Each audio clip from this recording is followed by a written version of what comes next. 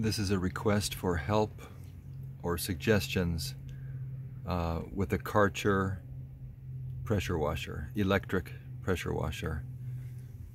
This is rather old, it's probably 15 plus years old, but um, until recently it worked quite well. Now when the power is on, it surges and uh, pressure coming out of the wand is not what it should be it'll give moderate pressure, but not what it should.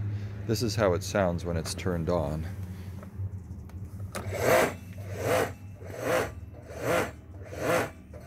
And I could demonstrate the pressure. I could demonstrate the pressure, but it's just take my word for it. It's it's not good. Um, I've checked the filter down here and the in, inlet port. The filter is fine. It's not clogged. This is sealed um, there's no leak that I can see. I mean, nothing, nothing to speak of. So I don't know where this uh, problem is originating, and I've done some research online, and it may end up coming down to taking it apart, but I'm hoping not to have to do that.